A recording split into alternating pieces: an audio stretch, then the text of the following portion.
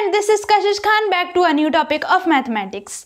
तो आज का जो हमारा टॉपिक है, वो कौन से चैप्टर से है? ट्रिगोनोमेट्रिक रेशियोज से। ट्रिगोनोमेट्रिक रेशियोज के एक्सरसाइज 3.3 क्वेश्चन नंबर टेंथ ये हमारा क्वेश्चन है। ठीक है? तो हम इस क्वेश्चन को सॉल्व करने जा रहे हैं। तो ये क्वेश्चन क्या है? पहले इसको देख लेते हैं। हमारा जो क्वेश्चन है, इसमें हम लोग को प्रूव एक इक्वेशन दिया गया है और इसको प्रूव करना है। ठीक है?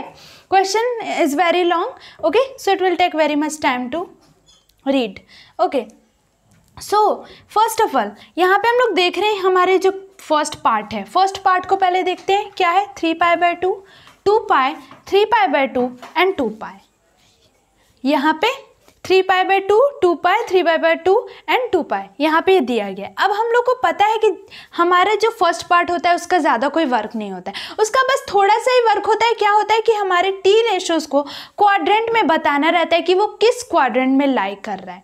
ठीक है? तो चलिए हम अपना क्वाड्रेंट भी बना लेते हैं।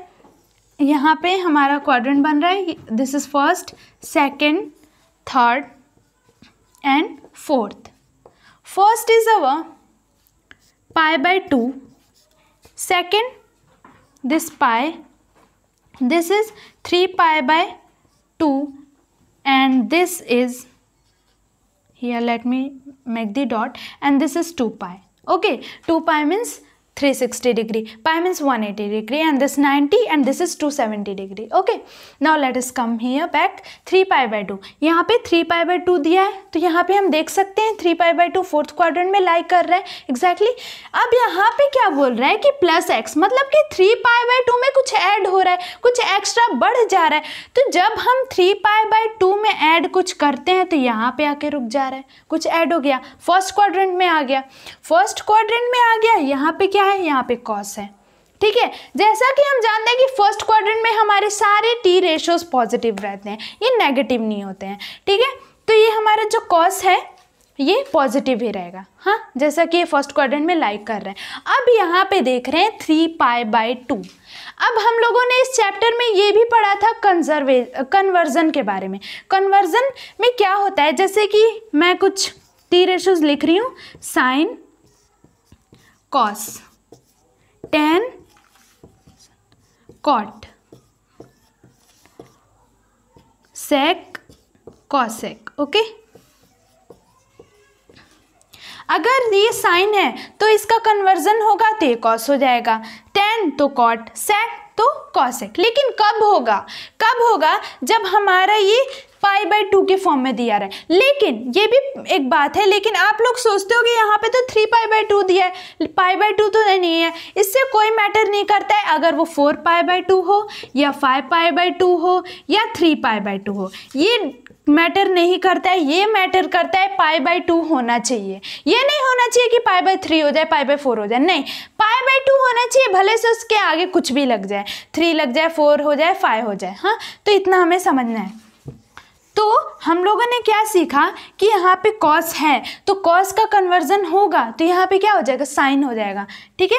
साइन और ये हमारा एक्स एज इट इज़ यहाँ पे आ जाएगा नेगेटिव नेगेटिव मार्क नहीं होगा। क्यों नहीं होगा? क्योंकि ये फ़र्स्ट क्वाड्रेंट में लाई कर रहा है, ठीक है? अब मूव करते हैं next step cos two pi plus X two pi ठीक है? यहाँ पे लिख देते हैं third and this is fourth this was two pi okay so what is two pi plus X two pi ठीक है? यहाँ पे लाई कर रहा है। अब देखते हैं प्लस एक्स इसमें कुछ ऐड हो जा रहा है। कुछ ऐड हो जा रहा है, ठीक है? कुछ आगे बढ़ जा रहा है। तो कॉस कॉस तो पॉजिटिव ही रहेगा। क्यों पॉजिटिव रहेगा? क्योंकि इसमें सारे पॉजिटिव टू पाई का मतलब थ्री सिक्सटी डिग्री हाँ एक वन रिवॉल्यूशन कंप्लीट हो रहा है। एक वन रिवॉल्यूशन कंप्लीट हो रही है यहाँ पे। और जब इसमें कुछ ऐड हो जाएगा तो हमारे फ़र्स्ट क्वाड्रेंट में हमने पढ़ा है कि सारे टी रेशोज पॉजिटिव ही रहते हैं। तो ये हमारा कॉस एक्स ही ऐसे लिखेंगे। यहाँ पे कन्वर्जन नहीं होगा। क्यों नहीं होगा? क्योंकि पाई बाई टू नहीं दिया है। अब ये हमारा under bracket as it is लगा देंगे। अब यहाँ पे कॉट ठीक है, अभी हम कॉट नहीं लिखेंगे। क्यों नहीं लिखेंगे? क्योंकि यहाँ पे फिर हमारा वही सिचुएशन हो रहा है। Three pi by two three pi by two यहाँ पे अब इसमें से कुछ डिक्रीज हो रहा है। क्या हो रहा है? कुछ माइनस हो जाए थ्री पाई बाई टू में कुछ कम हो जा रहा है। तो कम होगा तो ये इसमें आ जाएगा। फोर्थ क्वाड्रेंट में three pi by two minus X ये यहाँ पे आ जाएगा फोर्थ क्वाड्रेंट में। अब हमें पता है कि कॉट और टेन फोर्थ क्वाड्रेंट में कॉट और टेन ऐसे टी रेशोज हैं जो हमेशा पॉजिटिव रहते हैं और सब टी रेशोज नेगेटिव हो जाते हैं। तो हमारा ये जो कॉट है, वो कन कन्वर्जन इसका होगा तो ये टेन हो जाएगा, ठीक है? ये टेन हो जाएगा और पॉजिटिव ऐसे रहेगा और ये हमारा X as it is will come okay so this plus okay now cot two pi plus X. Two pi यहाँ पे हो रहा है। A complete revolution means three sixty degree यहाँ पे हो रहा है। फिर इसमें कुछ ऐड हो जा रहा है। यहाँ पे आ गया फ़र्स्ट क्वाड्रेंट में। कॉट हमें पता है फ़र्स्ट क्वाड्रेंट में सारे पॉजिटिव होते हैं टी रेशोज तो ये भी cot as it is will write अब हमारा जो क्वेश्चन है मतलब कि 90 परसेंट कंप्लीट हो चुका है।